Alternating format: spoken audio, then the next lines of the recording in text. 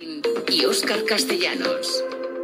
Es una de las noticias del día. El Consejo de Ministros ha aprobado la declaración de zona catastrófica en las comunidades autónomas más afectadas por la dana de principios de mes. En nuestra región esos daños superarían los 300 millones de euros, así que nos vamos hasta el Palacio de la Moncloa. José Luis Martín, buenas tardes. ¿Qué tal, Oscar? Buenas tardes. Sí, esta declaración de zona catastrófica afecta a un total de nueve comunidades autónomas y entre ellas a Castilla-La Mancha. No en vano, nuestra región fue de las más afectadas por la dana de principios de septiembre, que causó hasta ocho fallecidos en todo el país, cuatro de ellos en la provincia de Toledo, además de cuantiosos daños materiales en infraestructuras, en equipamiento municipal y también en viviendas. De hecho, la primera estimación de la delegación del Gobierno habla de unos daños por valor de 300 millones de euros en toda la comunidad, un asunto que ha abordado el Consejo de Ministros en la rueda de prensa, la ministra portavoz Isabel Rodríguez ha querido destacar la agilidad con la que el Gobierno, aun estando en funciones, está teniendo en este tipo de asuntos. Hemos actuado con agilidad, que es también una seña de identidad de lo que ha venido ocurriendo a lo largo de toda esta legislatura, donde se han reducido los tiempos de respuesta en este tipo de acontecimientos y reafirmándonos en nuestro compromiso en eh, la agilidad de la tramitación de esas ayudas y también del acompañamiento a las comunidades autónomas y a los municipios afectados. Recordamos que estas ayudas fueron solicitadas por por las comunidades autónomas y por los ayuntamientos que resultaron más dañados por las inundaciones, especialmente en la provincia de Toledo, una de las más afectadas junto a la Comunidad de Madrid. Destacar que estas ayudas no cubren los daños en la agricultura, que según el Gobierno seguirán otro canal desde el Ministerio que dirige Luis Planas. Gracias, José Luis. Información en directo desde el Palacio de la Moncloa. Muchos de ustedes si, es, si resultaron afectados por estas danas, estarán preguntando, bueno, ¿y ahora qué?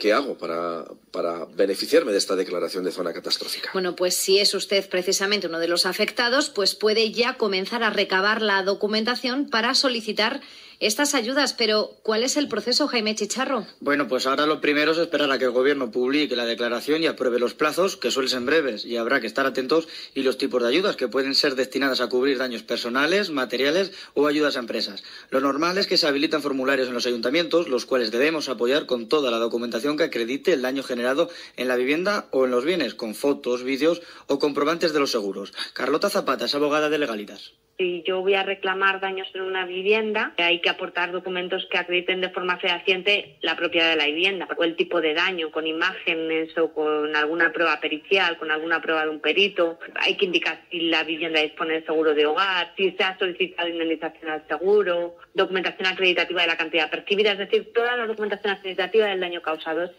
Esta ayuda es complementaria con la que ya ofrece el Consorcio de Compensación de Seguros y, como decimos, lo más importante, solicitar estas ayudas bien a través de nuestro ayuntamiento o comunidad autónoma y aportar toda la documentación posible mientras estamos a la espera de conocer esos tipos de ayudas y los plazos de las mismas. La provincia de Toledo, si lo recuerdan, ha sido una de las más afectadas por esta dana. La estimación de daños se eleva a 200 millones de euros. Entre los pueblos más dañados, Juncler, Junclillos, Magán o Escalona, Mayra Herrero. Que las ayudas lleguen, pero lo hagan ya. Es el mantra que repiten muchos alcaldes que siguen quitando barro en sus pueblos. Es el caso de Magán, donde hablan de abandono y cifran en más de 250.000 euros lo gastado en limpieza de calles y maquinaria. Más de 300 viviendas y unas siete empresas afectadas y muchas familias sin seguros. José Luis Martínez, alcalde de Magán.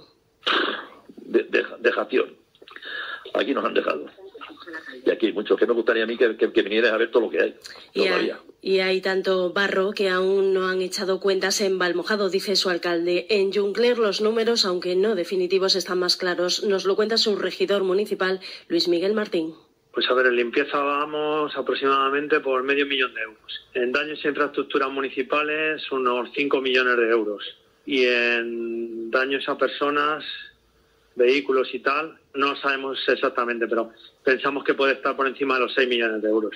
Casi dos millones de euros de daños en Escalona, los que hay que sumar otros 12 o 15 millones de las 300 viviendas afectadas en 118 calles. Esperan y Salud Verde del Gobierno a unas ayudas imprescindibles, asegura el alcalde Álvaro Gutiérrez, que pide. Esas ayudas, primero, sean fáciles de tramitar y segundo, una vez tramitado, lleguen pronto, porque hay muchos vecinos que lo han perdido todo, absolutamente todo y muchos ayuntamientos que hemos tenido muchos gastos que ahora hay que afrontar. A partir de mañana, la Oficina de Registro de Daños en Escalona ayudará a los afectados en la tramitación de esas ayudas. Eh, la capital, Toledo, también era una de las ciudades más afectadas por esta dana. De momento no han cuantificado los daños, pero su alcalde sí confirma que no se van a recuperar ninguno de los autobuses urbanos destrozados tras esas lluvias torrenciales. Carlos Velázquez el impactante daño que sufrió la base del servicio de transporte urbano de Nauto, donde el 50% de la flota se vio afectada.